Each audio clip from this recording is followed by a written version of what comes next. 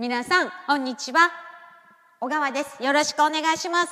えーと、今日もよろしくお願いしますね。それではですね今日はあの先日インスタライブでもお伝えしたんですけどチョコレートを選ぶ時のちょっと皆さんにご参考になることをお伝えしたんですけどそれをちょっと今日はまたあのおまとめとプラス今日は特に女性に聞いてもらいたいなと思ってちょっと今日は書かせていただきました、えーと、とまずチョコレートを選ぶ時は裏を見てください。裏原材料時に先に砂糖って書いてあったらこの砂糖っていうのは生成されてる砂糖なのでビタミンだったりミネラルラルだったりとか、まあえーと、そういうのがちょっと足りないのでそういうものを取ってしまう安価なチョコレート安いチョコレートにはあの多いですよ砂糖。まあ、そういうものを取ってしまうと消化吸収が早いので血糖値がバーンと上がりますねバーンと上がった時に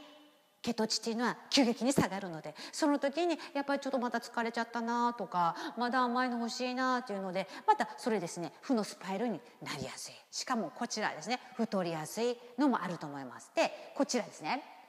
あともう一つ見てもらいたいのが裏にですね実はチョコレートなんだけど油が入ってます。植物油脂、まあ、漢字で書くととても体に良さそうなんですけどこれがこれがですね皆さん気をつけてください。これはトランス脂肪酸っていう可能性が高いです。これは、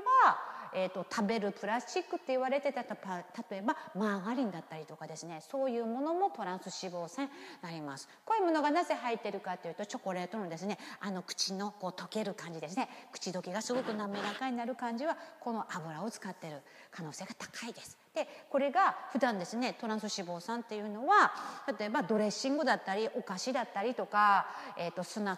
ク菓子とかですね。あとファストフードとか私たちが食べるものに結構入ってるんですよ。そういうものを普段から食べてしまうと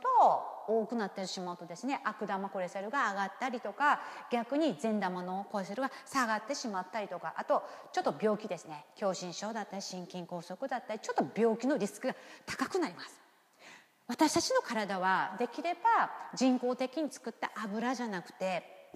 体に必要な油っていうのは、えーと、私たちがですねいい油をちょうだいいい油をちょうだいって言ってるんだけどなかなか私たちがあの普段加工食品だったりとか、まあ、そういうのを選んでしまうと私たちの体特に脳がそういういい油が入ってこないのでものすごくあの欲求がですね解消されないんですね。ということで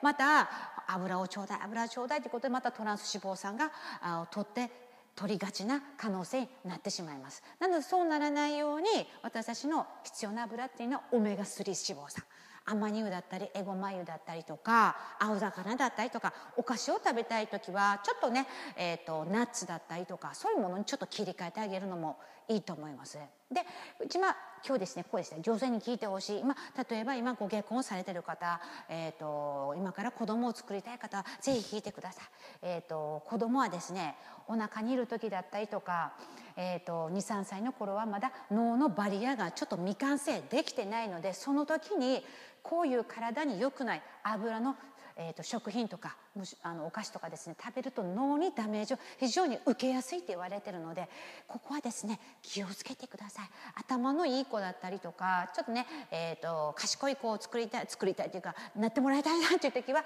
食べるものもちょっと気をつけてあげるといいのかなと思ってます。なかなかこういうものを避けるの難しいんですけど過剰に取らないようにまた気をつけてみてください、えーとチョコレートを選ぶ時はカカオが70%以上のものだったりこれが植物油脂が入ってないもの。砂糖が一番最初にできれば入ってないものをですね。ちょっと選んでいただいて是非ですね私たちの、えーと、好きなチョコレートもね楽しみながら健康的に食べていきたいと思ってます。はい。ではまた次回の更新をお楽しみにしてください。小川でした。ありがとうございました。さよなら。